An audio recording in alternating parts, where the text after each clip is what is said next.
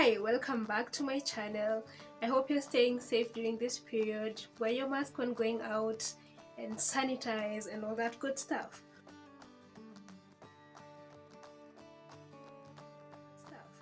So today we are going to be talking about how to make your studio apartment or your bedsitter look good. We want your house to look good. So I have written down a few tips that I used to make my house look good, okay? Look good. So let's start with the first thing. So number one, color coordinate. Color coordinate. Please. I think that's if if you do not take anything from this video, please just take color coordinate please don't let your house have a million colors you blue green red everywhere. We need to have some peace and not peace some uniformity somewhere. Um yeah so we need to have some uniformity in your house. So if you if you have let's say i have purple and is it dark pink? Um, walls so yeah so I have purple and dark pink walls which means that is enough bright colors for me. My bedroom has to be a bit toned down to some gray um, yeah so don't have green pink blue. Yeah. So the second thing is avoid colored brightly colored plastic things. Oh this thing is annoying this thing is annoying it's it's it's so have you ever walked into someone's house and the first thing you see is a bunch of plastic um, the plastic dish holder? Is it called the dish rack yeah the plastic dish rack which is green in color. And then next to it is is um, the other rack that you use to place your fruits and veggies stuff like that. And that one is pink. And then you move to the dustbin. The dustbin is like yellow or something. It's it's it's it's it's horrendous. Don't don't do that. Don't, mm. So if you're able to avoid plastics please do. You can get a metallic silver dish rack. You can get a, also a metallic silver one. If you don't like silver please go for something even white looks just just please avoid uh, if you're not able to find alternatives for your plastic stuff please just go for cool toned colors like gray. I'll show you one that i have the gray one. Let me see. Mm, can i find it right now? Yes let me see if i can find it. Let me show you that one. Yeah i'll show that picture so that's the second thing. So when you remove the whole plasticky thingy is the, your house immediately looks better. Immediately looks better if you color coordinate your curtains if your curtains are let's say your walls are white and then you have black seats and then you have green curtains and then you have a red um, a rug what is it called? A carpet. It just so these things need planning these things need a lot of planning and pinterest is your best friend when it comes to this. Just go there pick a couple of things create your own board try and color coordinate in your mind before you go off buying things and then they just don't look good in your house yeah? So the third thing is enough lighting in your house. So you mm, you need yeah you need proper lighting in your house. I know there are people who don't like um, a lot of light coming in and you can buy the they call the uh, the blind curtains. What are they called? Something like that. The blind curtains where you can just draw your curtains and then it's pitch dark. But in the meantime you during the day or when you don't need to be in total darkness you can have bright windows. So for your shears if you're able to please get white shears for your windows.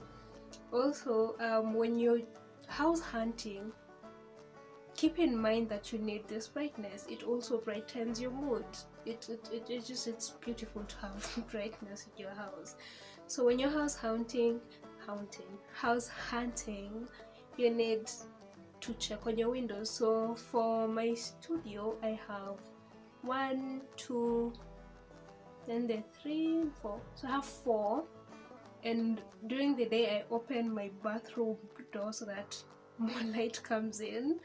So yeah that's another tip. If you're not able to get to have to get yeah to get a house with that many windows or huge windows you can also um, invest in mirrors. Mirrors bounce back the little light that your house has and then it just looks brighter. It, it opens up the room and it looks nice. So if you're not able to get a house with huge windows enough lighting coming in invest in mirrors. Yeah. House of leather. Plug. Uh,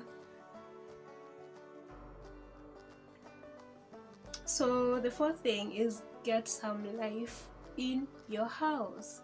Get some life.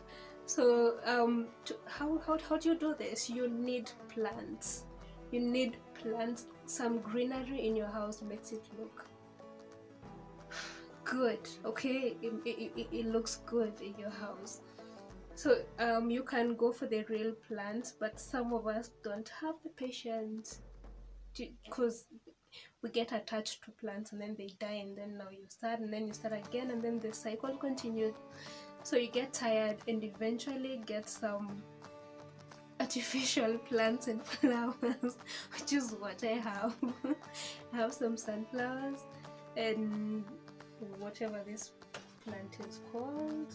Yeah and they were actually very affordable well apart from the sunflower this was actually very affordable and if you need a video of where you can find affordable plants please let me know so that I can show you all the nice affordable but quality things. You also don't want to get plasticky um, plants. So yeah so get some life in your house. It looks good immediately. So the fifth one oh yeah i've already talked about this. It's go for cooler colors. When you're um, doing your house or when you're looking for a house or an apartment please look for white walls pure white walls not cream walls pure white walls. So I looked for white walls did not get them but when I saw this house it looked clean and neat and I knew immediately that that was the house I wanted. It took me a bit of time to actually convince myself that there wasn't a better one. Mm, yeah. Go for cooler toned colors if my house say my house is pink and purple my bed cannot be green and and, and red and yellow. So that's why I went for um, grey beddings. And so my bedroom is mostly grey so it's purple and grey on that side which brings a bit of balance. So yeah. Um so the seventh one is the most irritating. It's the most irritating thing ever. So when you decide to move to a bed sitter or a studio apartment, you already know what that is. You already know that this is the amount of space that I need and I will be comfortable there. Okay? So, people who divide their studios with curtains.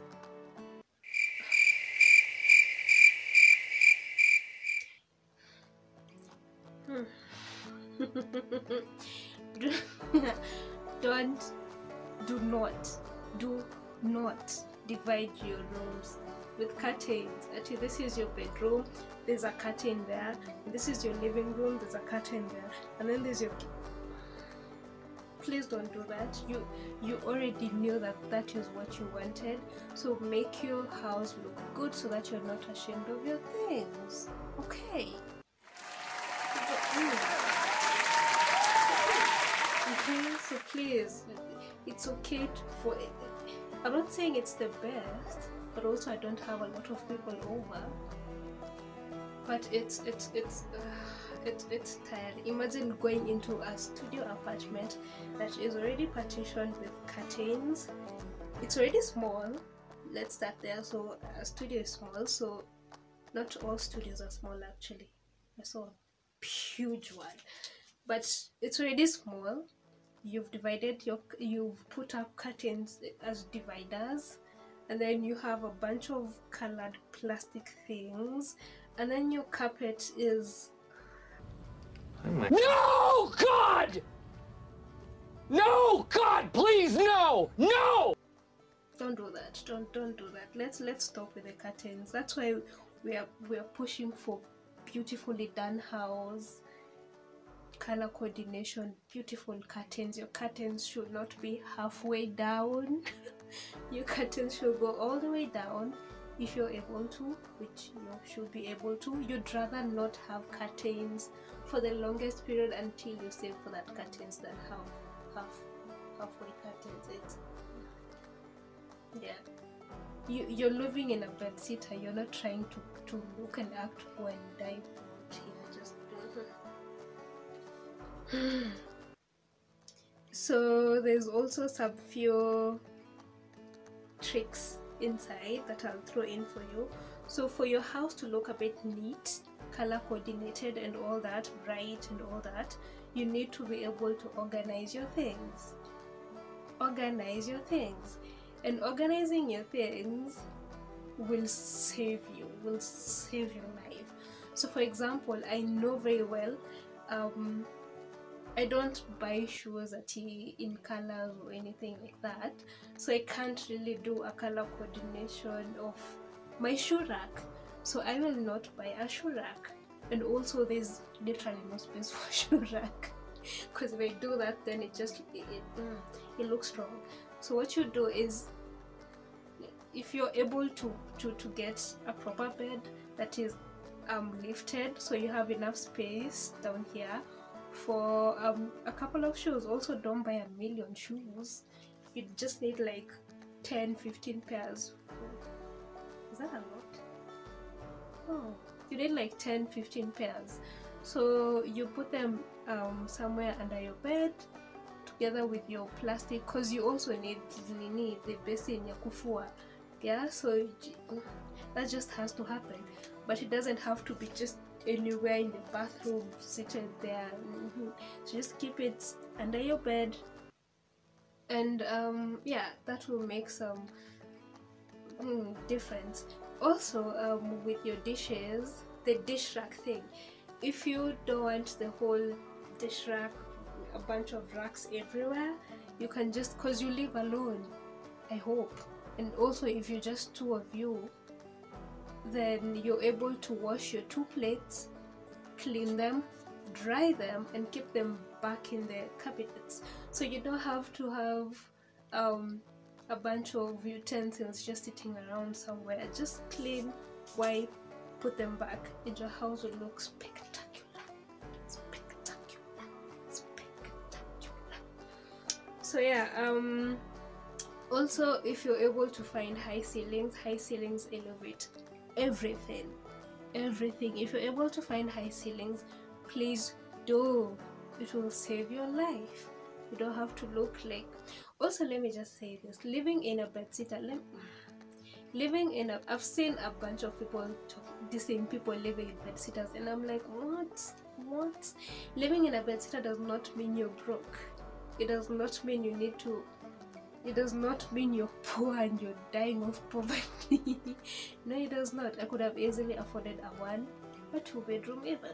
So that does not I just chose I knew that this was the space I wanted. This space is enough for me and it's it's it's really all I need and I'm not struggling at here. I need um bigger space for this or bigger space for that and also I'm saving money. So that does not mean that let's get that out of the way. The um the last thing is clutter. Clutter. Clutter is not your friend. Clutter is not your friend. Mm. if you're able to let me just say this. If you're able to wash your clothes as every two days please do. Because waiting for the entire week and you well especially in this cold season you have to have your shirt or your top and your trouser or skirt. And then there's also your jacket. You also sometimes need a scarf. It's mm, so changing all those clothes every day at the end of the week you'll have too many clothes. Also between that weekly thing I mm, I know people have laundry baskets but I feel like that is just holding that mm-hmm. so if you please wash your your your clothes as often as possible. And that just makes you look your your house smell good look good look neat. And yeah so i think that is the last point. Please also share down below the um, tricks that you use to make your house look a bit better. And if you like the video please give it a thumbs up and also subscribe. Bye see you next time